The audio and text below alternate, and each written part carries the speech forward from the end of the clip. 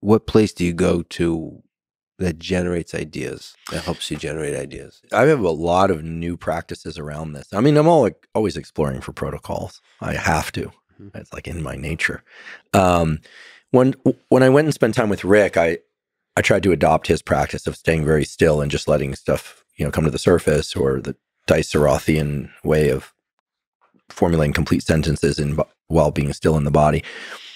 What I have found works better is what my good friend Tim Armstrong does to write music. He writes music every day. He's a music producer. He's obviously a singer, guitar player for Rancid, um, and he's helped dozens and dozens and dozens of female pop artists and punk rock artists write great songs. And many of the famous songs that you've heard from other artists, Tim helped them write.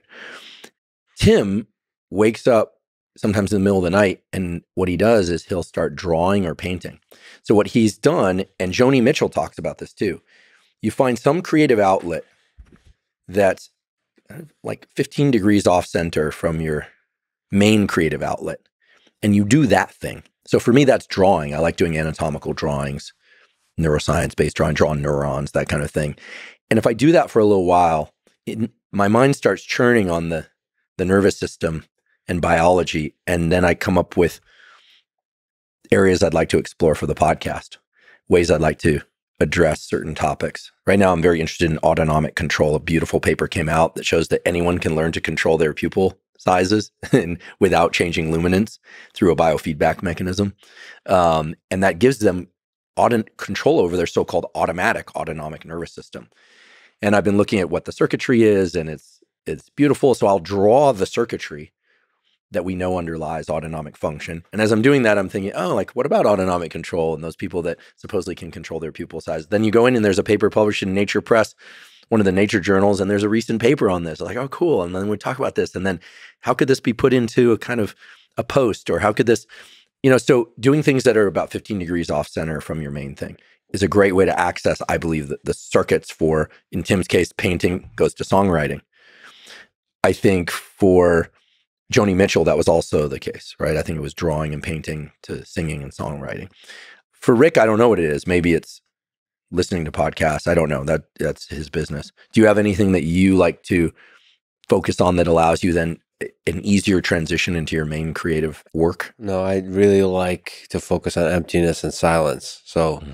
I pick the dragon I have to slay. So whatever the problem I have to work on, and I just sit there and stare at it. I love how fucking linear you are. and it just and if there's no if you're tired, I'll just sit. Mm. I believe in the in the power of just waiting. And usually I'll stop being tired or their energy rises from somewhere or an idea pops from somewhere, but there needs to be a silence and an emptiness. It's an empty room, just me and the dragon, and we wait. That's it. Like if it's a usually with programming, you're thinking about a particular design. Like how do I design this thing to solve this problem? Mm-hmm.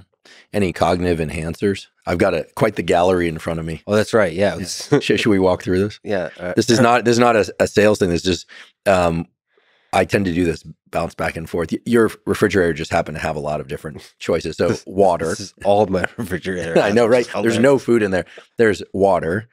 There's LMNT, which they now have canned. Yeah, yeah. And yes, they're a podcast sponsor for both of us, but that's not why I cracked one of these open. I like them provide they're they're mm. cold. And that's by the way my least flavor, favorite flavors I was saying. That's that's the reason it's still left in the fridge. The cherry one is really good. The, the black, black, cherry. Good. There's a orange one. Yeah. I pushed the um the sled this morning and pulled the sled for my workout at the gym and and it was hot today here in Austin. So um some salt is good.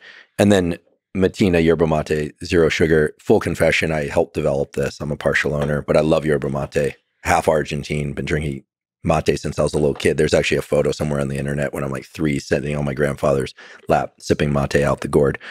And then this, might find interesting. This is uh, just a little bit of coffee with a scoop of Brian Johnson gave me cocoa just like pure unsweetened cocoa. Mm-hmm. So I put that in chocolate. And I like it. It just for the taste. Well, actually nukes my appetite. And since I'm we're not going out to dinner tonight until later, I figure that's good.